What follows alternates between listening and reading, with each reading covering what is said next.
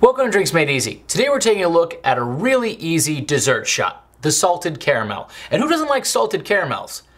Well, I guess it's not too hard to always find a stick in the mud somewhere, right?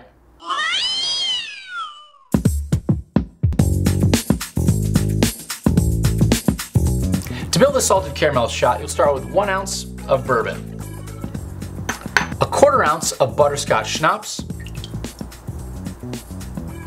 and half an ounce of heavy cream. Now if your heavy cream is chilled, you might need a little spatula. Cap that off into a shaker tin full of ice and give it a quick shake. Strain into a shot glass.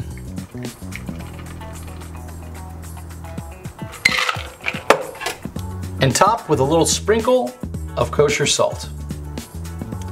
Now, if you don't have kosher salt, skip this step because iodized salt is no good in a drink like this. So Mike stopped being a stick in the mud and actually came up with his own joke. What did the pumpkin say to the crazy pumpkin that was running around the pumpkin patch? You're out of your gourd! Ah! Pretty good, right? Cheers for Drinks Made Easy. Please be sure to like, subscribe, and click on the bell icon so you'll be notified anytime we release a new video. Or Mike comes up with a new joke. Cheers. I like that joke. Okay, that's fine.